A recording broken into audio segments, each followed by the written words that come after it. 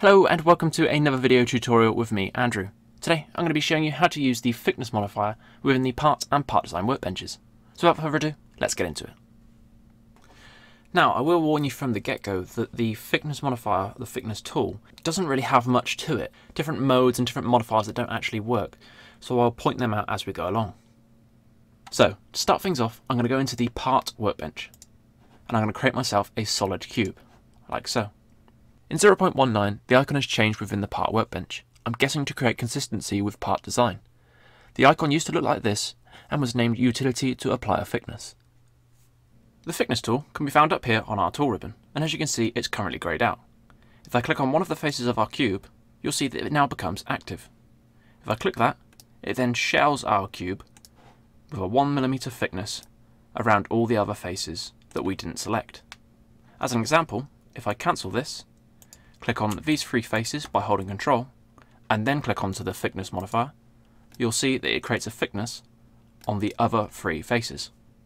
As another example, if I cancel that, the maximum amount of faces that we can actually select before it doesn't work is 4. So as you can see it works here, we've got two faces that have now got a thickness to them. If I then go and add even more faces, just so that we've got one face left, and I click on the modifier, it doesn't work. Now obviously if you want to do that anyway, if you wanted to add a thickness to just one face, you'd probably uh, alter the cube itself or just create yourself a pad in the part design workbench. Now back to the original design where we've added a thickness or created a shell around our original cube. As you can see, we now have a control panel on the left hand side with a couple of parameters that can be changed. So currently our thickness is set to 1, and if I set that to minus 1, the thickness is faced inwards. So for the purposes of the next bit, I'm going to set that back to a positive, and I might set that to a 1.5 wall thickness. Now for the modes, the only one that seems to work is actually skin. Now pipe doesn't seem to work, and I'm assuming that it would create some sort of box section, which would create a hole through the center, in this case square. And again, I'm not entirely sure what recto verso does. I've looked for all the documentation, I've looked onto the forums and different videos, uh, I've even watched tutorials myself, and I'm not entirely sure what this actually does and I don't think anyone else is. So if you do know what this does, please let me know in the comments down below and how I and other viewers may be able to recreate that. So for us to actually create a pipe, instead of using the mode, we can actually just select faces that are opposite each other. So I click on the faces icon, which is down here, click on our top face, hold control and click on our bottom face, and then click done. You'll see that it's now created a shell or some sort of box section. Even if I set that to pipe, it still doesn't actually change anything. So I'm going to set that back to skin. And now we'll move on to the join type. As you can see, it's set to arc, which is the default setting, and we've got our arcs around the outside. Now even if I set that to a minus, so that the thickness is inverted, the arcs don't actually move onto the inside of our shape. If I reset that back to a positive, and click on our join type dropdown, you'll see that we've got three options. Arc, which I've already explained, Tangent, which I'm not entirely sure, again, what that actually does. I don't know whether I haven't got the correct setup.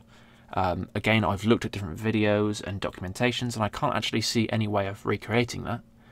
Um, and then you've got Intersection, which will basically sharpen our corners and remove the arc. Coming to intersection and self-intersection, I'm going to start sounding like a stuck record, as I also don't know what these do and how they work.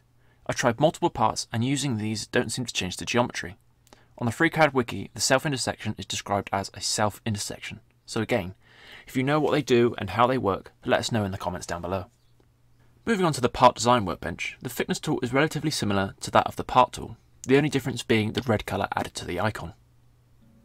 So if I create myself a simple additive cone, and say OK to that, you'll find that the thickness tool is up here. As you can see, this one is always active, and even if we click on it, it will ask us to select an edge or a face or body. So if I select the top of our cone, click on the thickness tool, and you'll see that we have now created a thickness around the outside. As you can see, we have a parameters panel to the left, which is similar to the one in the part workbench. However, this one allows us to add and remove faces with relative ease. So if I now remove that face, You'll now see that we have a radius on the top of our cone, and if I change the join type to intersection, you'll see that it now becomes sharp. To invert the thickness, we don't have to put a minus in this box, as it won't allow us to. All we have to do is click on the tick box down here, which is make thickness inwards, and as you can see, it changes like so. Moving to this example of an X joint, this reminds me of some sort of exhaust section. So what I've got here is I've got a simple additive pipe which flows along a path which is in the X and Y and just a simple circle. I've then cloned that into another body like so. I've then fused them together within the part workbench using the Boolean modifiers. So if I just hide these other two bodies and we'll use the thickness on our fusion. So if I just selected one face and clicked on the thickness, it would create something like this. So we'd have a hole going through this side and it would flow the whole way around our shape. It would just create a flat on the outlets of our pipe. If I click on faces and I click on all four faces of our X pipe and click on done, you'll see that it now creates a pipe that flows through nicely. You'll notice as well there's no radiuses on our part. If I change our thickness to a minus so that it's going inwards, you'll see that a radius is created on the inside. Now I'm not entirely sure why it does it for this, but it doesn't do it for, say, the cube, but I don't think it's actually a massive deal. I think if we were to go into the part design workbench and turn this into a body, we could then use the fillet tool quite easily and create radiuses around our parts, as and if we wanted to. So I just thought I'd show you that because that's a design that actually worked. Moving on to the next design though, this is something that didn't work at all. So this is something I was trying to create where it had one inlet and two outlets. If I select our three faces and click on the thickness modifier, you'll see that we get some sort of buggy geometry. I think it goes to show that the more complex that we create our geometry, the more likely it is to fail, especially with different modifiers. Moving over to this particular design, it was created within the part workbench, and all it is is three different cylinders, and they're positioned similarly to the last error that we had. In this one though, if I click on all three faces, and click on the thickness modifier, you'll see that it works absolutely perfectly.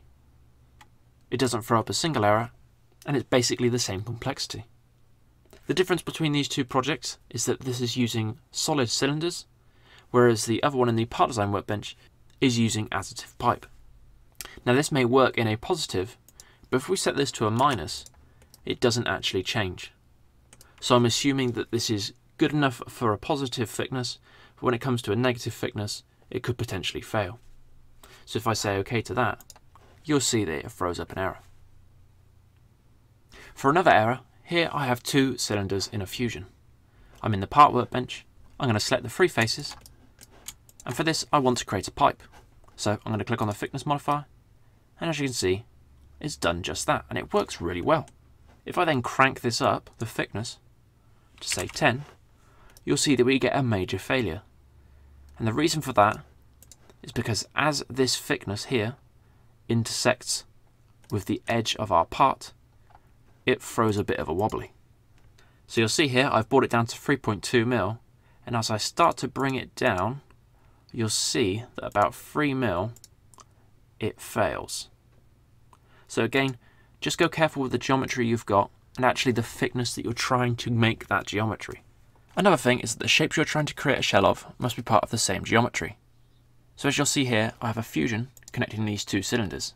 So if I remove that and try to use the thickness on this cylinder here, and then select faces, you'll see that I won't be able to select the second shape. It just won't allow me. So just another thing that I found that was slightly confusing. So here I've got myself a cube and a cylinder. Now as you'll see, the seam of the cylinder is currently in the actual cube itself.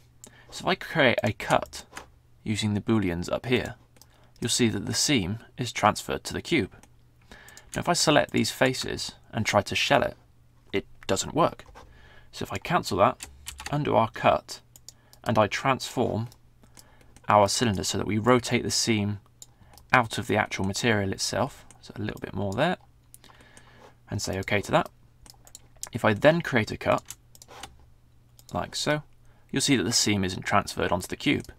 If I now use the shell tool, you'll see that it works absolutely fine. So for the final example, you'll see here I've got two different size cylinders.